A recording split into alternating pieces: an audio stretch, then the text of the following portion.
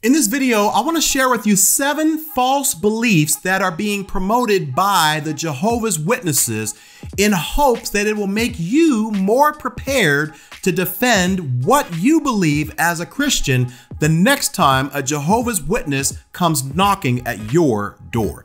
That's coming up today on The Beat. Hey, my friend, welcome back to The Beat. My name is Allen Parr. Thank you so much for tuning in. If this is your first time here, it's a pleasure. If you want a free ebook, click the link in the description box below. If you enjoy this video, consider subscribing, hit that little bell notification so you won't miss a beat. Okay, so most of us have had this experience at some point in our lives. You're sitting at home, you're not doing anything, and all of a sudden you hear someone knocking on your door and you're like, okay, so you get up, you go to the door, and it is a Jehovah's Witness standing there, and they start sharing what they believe. They may even give you a track or something to the Watchtower Society. And if you're not careful, after that conversation, you're just kind of confused because what they're saying comes from the Bible and sounds like it's making sense.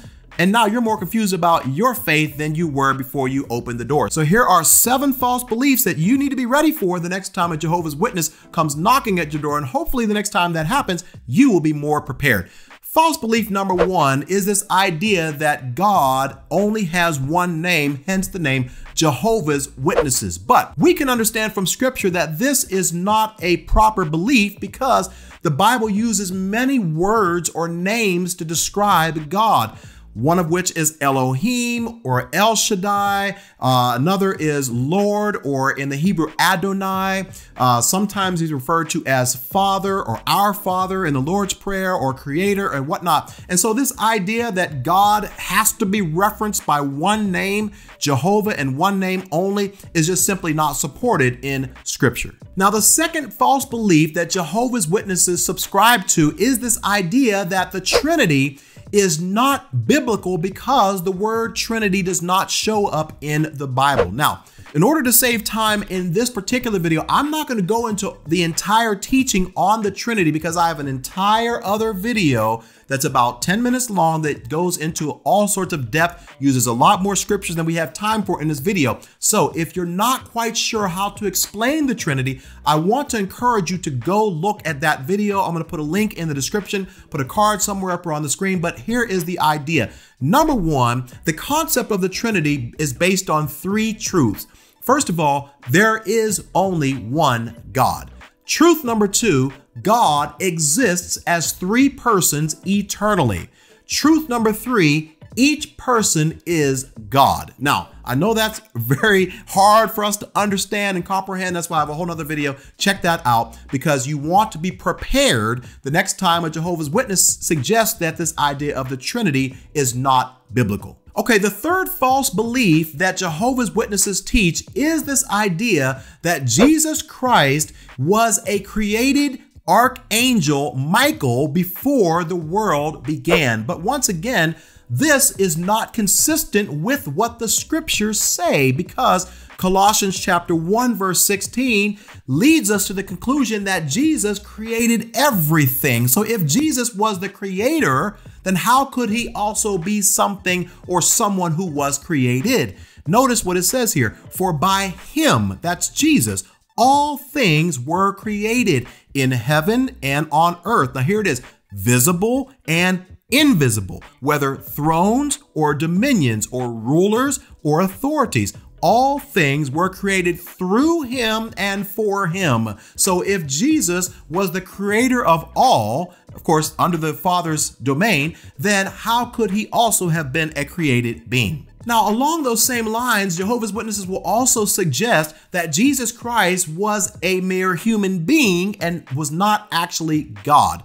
But the Bible says in John chapter 1 verse 1, in the beginning was the word, and the word was with God, and the word was God. Let me repeat that. In the beginning was the Word, and the Word was with God, and the Word was God. Now, also in Colossians chapter 2, verse 9, it says, For in him, in Jesus, the whole fullness of deity dwells bodily. And so basically, Jehovah's Witnesses will say that, you know what, Jesus was just a man or he was something else, but he wasn't fully God. But that's not what the scriptures say. Scriptures say the entire sum total of everything that makes up the Godhead was dwelling in bodily form in our Lord and Savior Jesus Christ. But not only just looking at what the scriptures say, look at what Jesus did. No mere man can raise the dead. No mere man can can uh, still the storms and calm the sea and heal the sick and and and give blind uh, give sight to the blind and all of these different things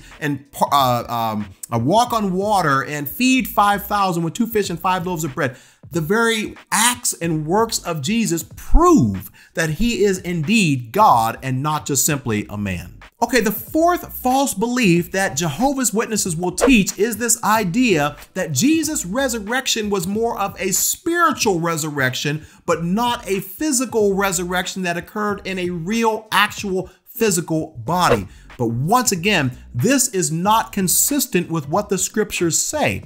As a matter of fact, on several occasions, it says that after Jesus rose from the dead, he was eating food. It says that in Luke chapter 24, verse 30. Now, you can't eat food unless you have a physical body. But not only that, there were a few occasions where his disciples and some of the other females reach out to touch him to actually take hold of his physical body. We see that also in Matthew chapter 28, verse 9, where it says, And behold, Jesus met them and said, Greetings. And they came up and took hold of his feet and worshiped him. If his resurrection was not a physical resurrection in a physical body, then my friends, then they would not actually have been able to physically touch him. But not only that, um, the Bible says in 1 Corinthians 15 that after he rose from the dead, he spent 40 days on earth. Actually, says in Acts chapter 1, giving convincing proofs. Now, during the 40 days, it says that he was seen by over 500 people at one time.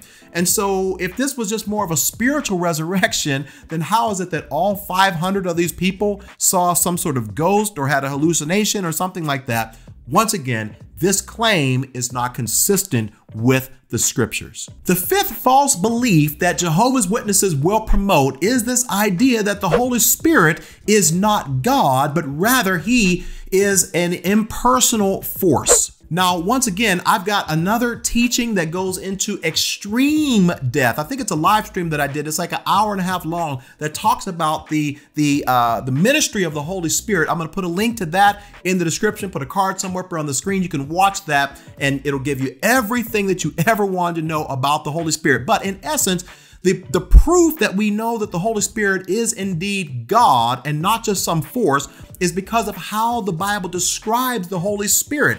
It says in Ephesians chapter 4 verse 30 that we can grieve the Holy Spirit. How can you grieve a force? You can't grieve a force. You can only grieve a person. It says in the book of Acts chapter 5 that uh, Ananias and Sapphira lied to the Holy Spirit. You can't lie to a force. You can only lie to a person. It also says in 1 Corinthians chapter 12 verse 11 that the Holy Spirit distributes the spiritual gifts as he wills. In other words, he makes decisions. So forces don't make decisions.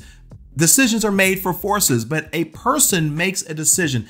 Also, over and over again in the scriptures, the Holy Spirit is not referred to as an it. So if you're a Christian, you keep referring to the Holy Spirit as an it, then you need to switch because the Holy Spirit is a person and we need to refer to him as he as the scriptures do. Okay, the sixth false belief that Jehovah's Witnesses will teach is that hell is not a place of eternal suffering, but rather it's a place where people will experience suffering for a time and then they will be annihilated or eliminated, if you will. Now, to be fair, Jehovah's Witnesses are not the only group that promote this. Uh, Seventh day Adventists also promote this as well, although I do believe that they are Christian, but this is a false belief because once again, if you look at Luke chapter 16, it is very clear here. And by the way, that's not a parable, that is a story because Jesus never used proper names in parables. When you look at the story of Lazarus and the rich man, you'll see that this rich man who went to hell was experiencing torments. He was burning up in flames. He had the uh, he had his memory. He was able to remember that his brothers were still on earth and he wanted them to not experience the same torment that he was experiencing. And so The Bible also describes hell as a place where the worm does not die or that fire cannot be quenched. And so if a little worm, which is the smallest insect that we have, doesn't die, then my friend, you and I aren't going to die up eventually, uh, excuse me, burn up eventually and simply cease to exist. Now, the seventh false belief that Jehovah's Witnesses will teach is this idea that only 144,000 anointed believers are going to go to heaven. Now, to be clear on this position, what they believe is that basically there's two groups of redeemed souls. There are 144,000 anointed souls, and these will be the special group of people that are one day going to ascend into heaven and reign and rule with Christ. But then the rest of the sheep or the rest of the believers will simply have to exist in a earth or a paradise, but they won't be able to ascend to be able to go to heaven. Now, this is wrong on many different levels. Number one, because the Bible says that in terms of reigning and ruling with Christ, it's not going to happen in heaven. It's going to happen on earth whenever God creates a new heaven and a new earth. And Jesus is going to reign and rule with his believers for a thousand years during the millennial reign, which is described in Revelation chapter 20. But that's not happening in heaven. That's actually happening in earth. The second reason, which I talked about this before, is that the 144,000 people in the book book of Revelation, I believe, are 12,000 Hebrew uh, believers that are living during the time of the tribulation that God is going to protect and seal and enable them to share their faith with other people so that more people can come to Christ. Not only this, nowhere in the Bible does the Bible make some distinction between there being a special group of believers that are going to go to heaven and then the rest of us are going to just have to be here on earth. No, the Bible says that the believers, the body of Christ, the church is going to be married or united to Jesus Christ throughout all time.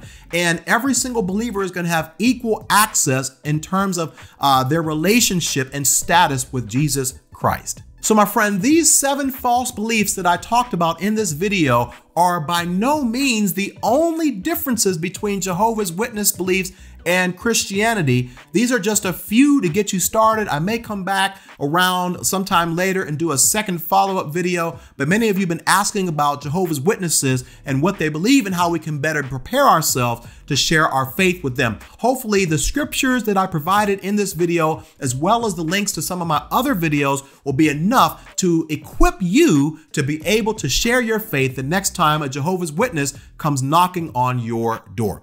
If you found this video helpful in any way, feel free to share it with a friend. Also, if you haven't done so already, I would love it if you would subscribe.